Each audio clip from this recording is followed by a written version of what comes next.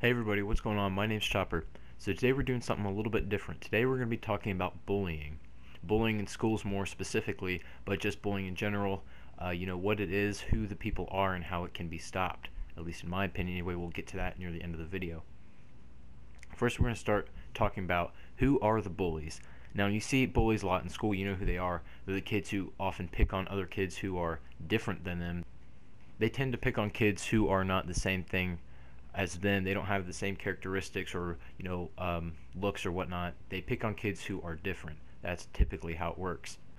When I was in school, when I was in middle school, actually, I mean, I'm I'm in high school now, so this still thing kind of does exist, but I was never really a huge target of bullying, nor was I a bully myself. I mean, it kind of went both ways.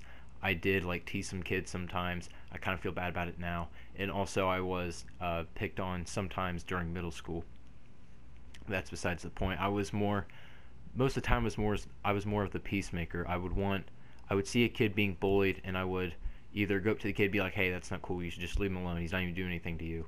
And you know, I would just try my best to do that or I would go to the kid who like was being bullied afterwards and I try to like comfort him and just be like, "Hey, it's all right. He didn't mean anything. He's just he's just an idiot. Like don't listen to him." I was that kind of guy. Now, I didn't really understand why bullies were so mean because I was raised in a house. I was, I mean, I would try to treat everybody kindness and with respect. That's how I was raised. But I didn't really understand how people could be so mean until uh, in middle school. I had a friend. I guess you could consider him a bully.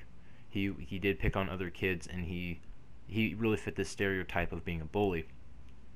And one night, I had the opportunity to go over to his house and stay the night and you know I got to meet his family, his parents, his brother, sister, and I got there and I quickly realized how much like hate his parents like.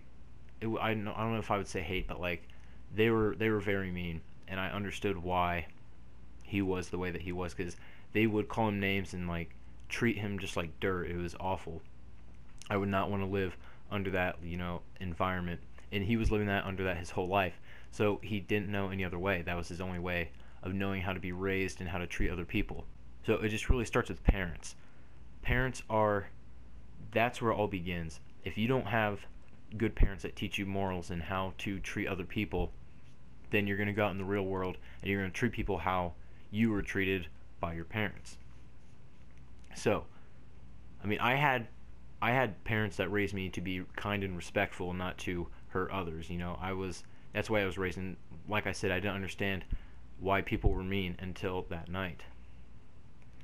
And the parents are supposed to teach their kids morals. You know, parents are, like I said, that's where it all starts. They're supposed to teach your kids how to treat people and not to act disrespectful, uh, things like that, how to act in public, how to present themselves in a nice manner.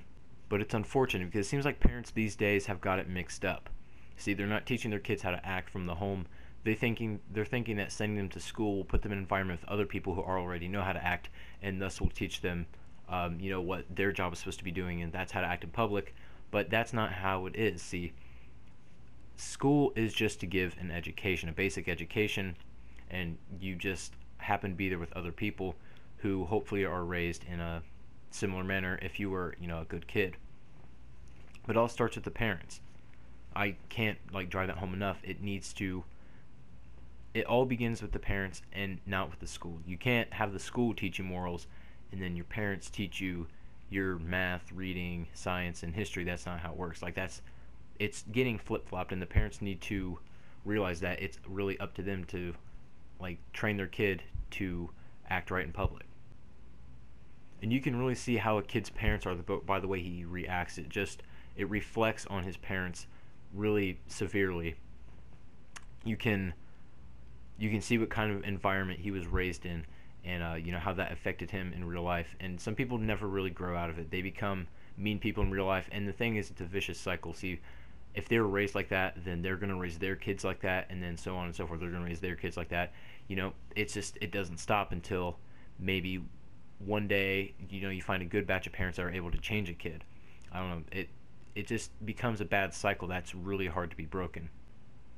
But you can't depend on the schools to teach your kid how to be good. And no, not every kid is going to ever be good. Like not every kid is going to be nice.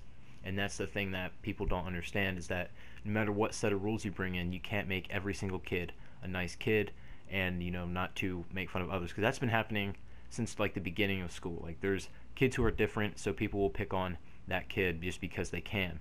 It's not something that you can change because not every kid is going to be nice. It was like my driving instructor told me that people would go to driving school and they would show up in his instructor car and not even know where the gas pedal was. Like he said, he told me that it's up to the parents to teach the kid how to work the car, how to basically maneuver the car, things like that. Um, you know, just be able to steer, drive around, know the basic functions of the car, and he's there to teach you the rules of the road and all things of that, like all the technicalities of the car. But he's not there to walk you from the first step. You know, he's there to pick you up after you already know the basics. And that kind of reminded me of the thing where parents are thinking that the school is going to teach their kid how to act and teach them morals, but that's just not how it works. And that's where the zero tolerance policy is really, really dumb and it does not work. Unfortunately, my school has a zero tolerance policy, and there's a ton of bad things about it. One, the first thing I want to get into is that when a kid is being picked on or they get in a fight with another student, the one who starts the fight is going to get in as much trouble as the kid who is defending himself.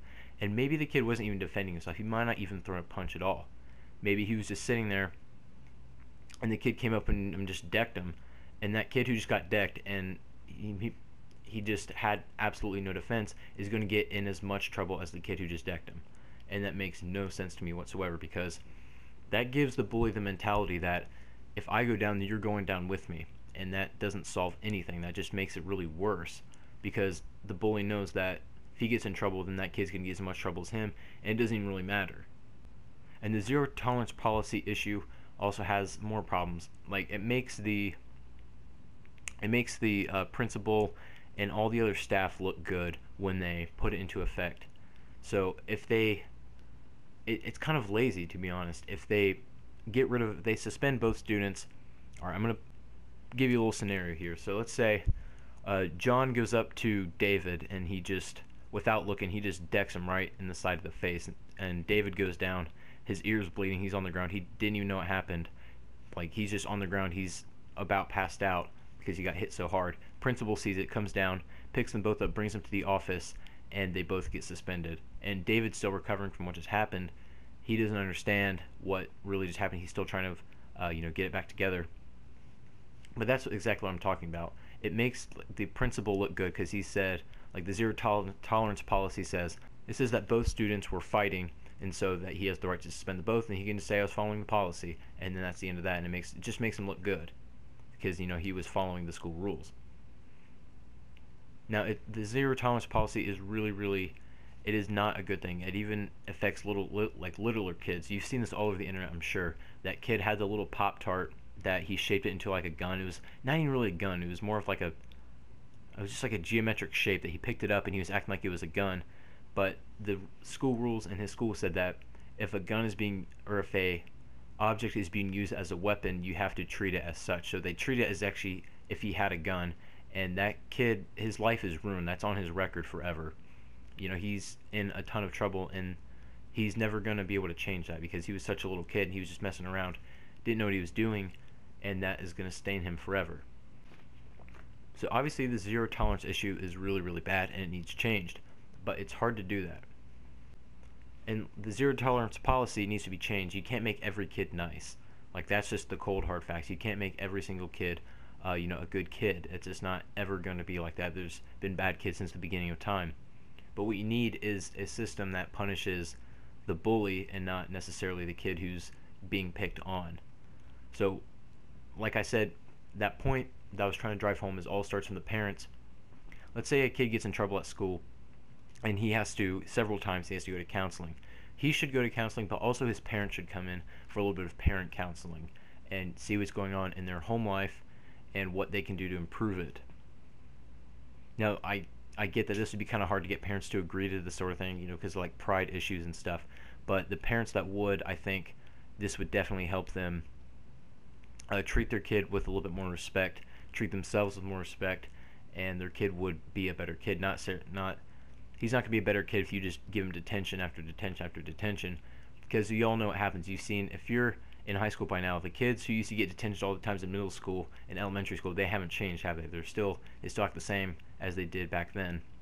Like they're still bad kids. I mean, most of them are anyway. I think some kids have changed, but I think since it all starts with the parents, I think parents need a little bit of counseling, and after that counseling, we need to change the, the zero tolerance policy. It needs to be a more closely watched system that is uh, you know like situational. If like going back to that example that I gave um, when David gets punched if everybody saw him get punched and he did nothing about it and there's so many eyewitnesses then David should not get in any trouble at all. If they have so many witnesses to say that he was he didn't even see it coming he wasn't defending himself he was literally just sitting there and you know he got punched.